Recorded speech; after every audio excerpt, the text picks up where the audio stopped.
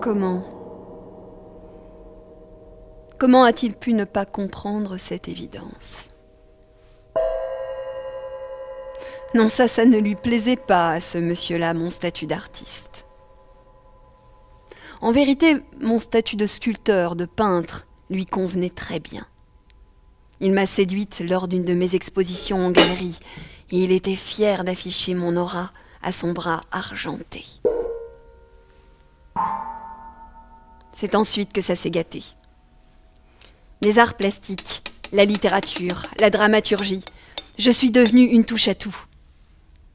Mais lui, je ne le touchais plus. Il ne supportait plus que je ne vive que pour l'art et non pour lui seul.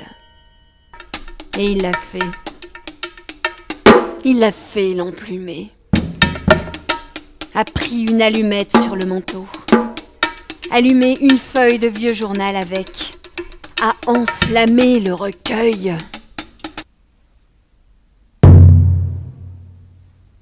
Alors, je prends un couteau acéré. Et lentement, saisissant son sexe si sentimental, je l'exécute et l'en prive scrupuleusement, vivacement, et enferme le tyran en son antre, pour le laisser hurlemment se vider d'un sang que je devine abondant s'écoulant sous la porte close. Je songeais sérieusement à une performance morbide, processus de décomposition filmé sur du long terme. Oui, mais le paramètre temporel va être gênant, et l'odeur intéressant mais olfactivement complexe et dangereux.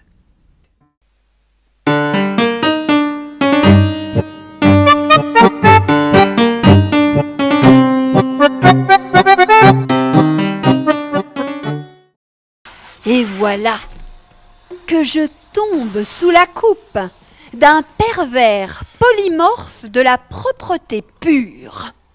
Pervers Polymorphe de la propreté pure dans un palais où j'étais censée ne m'adonner qu'à mes activités artistiques pointillistes, je passe de précieuses minutes à astiquer, récurer, cirer, frotter ses sols, parquer jusqu'au mur et recoin les pièces les plus improbables.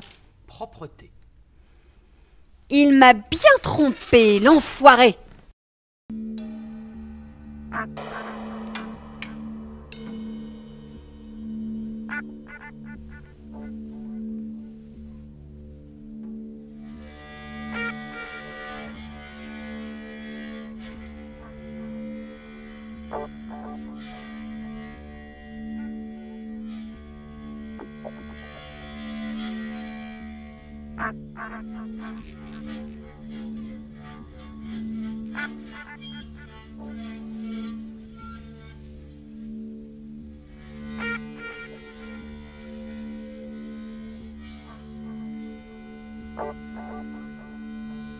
J'ai toujours détesté la conversation des coiffeuses.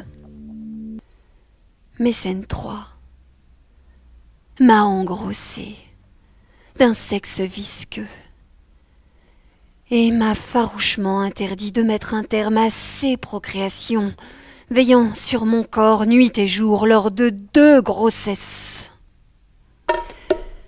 Ce n'est que lorsque je voulus utiliser mes fils pour une sculpture que le pater furioso me surprit. Il me surprit leur engluant le corps d'argile pour créer le moule. Et alors prit fin le supplice collectif.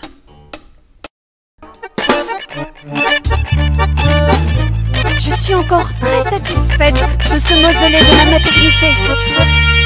Cette œuvre a obtenu un succès considérable à la galerie et un nombre d'acheteurs potentiels important.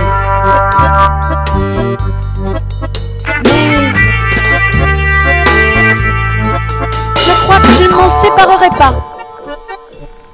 comme les deux précédentes dont je viens de vous conter l'histoire.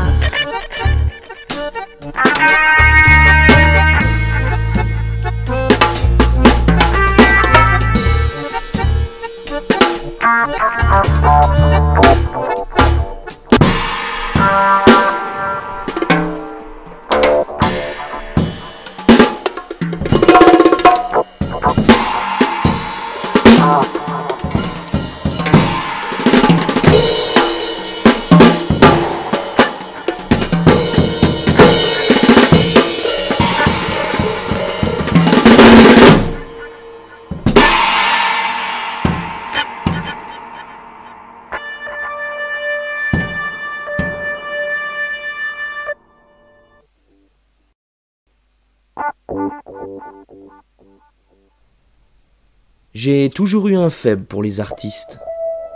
Les femmes surtout.